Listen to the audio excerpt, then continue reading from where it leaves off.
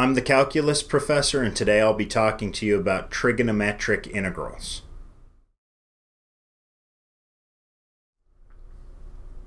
Welcome back. Today I'd like to talk to you about section 7.3 on trigonometric integrals. And we are going to start with problem 13, which wants us to evaluate the integral of sine of x raised to the fifth power dx. Okay, so uh, the first thing is we see that we have sine raised to the fifth power. And the real key piece here is that the fifth power is an odd power. And if I have a sine of x raised to an odd power, then I know exactly what I need to do. Uh, and what I'm going to do is I'm going to rewrite this and I'm going to break one of those sines off to the side. So I'm going to write this as a sine of x times sine of x to the fourth. So this is still sine of x raised to the fifth power. I've just written one of the sine x's out to the side. Now what I'm going to do is I'm going to rewrite this again. I'm going to leave this sine of x sitting out here by itself. And now I'm going to change all of the sine of x to the fourths. All of those I'm going to convert to cosines. And the way that I'm going to do that is I'm going to remember that sine squared of x plus cosine squared of x is equal to 1.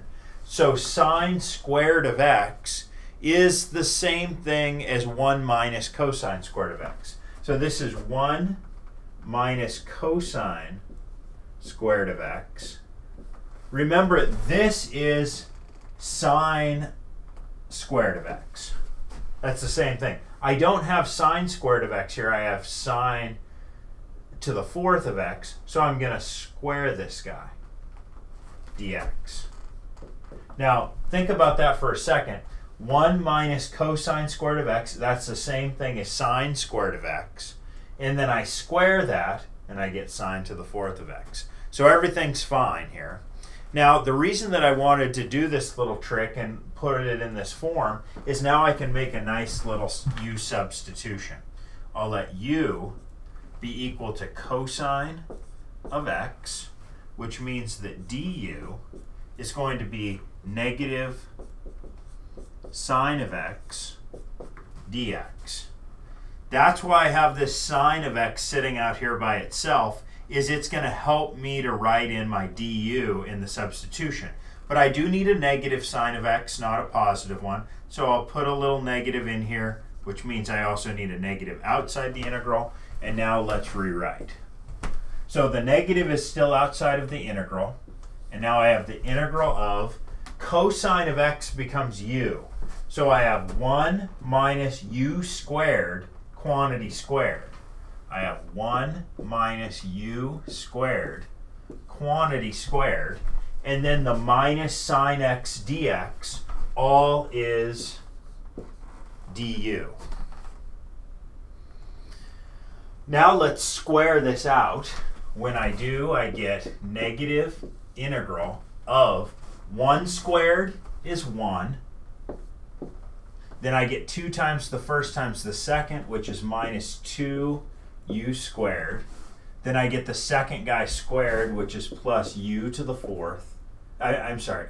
Uh, yeah, u to the fourth du. All right, everything's good. Now I'm ready to take an antiderivative. I still have my negative.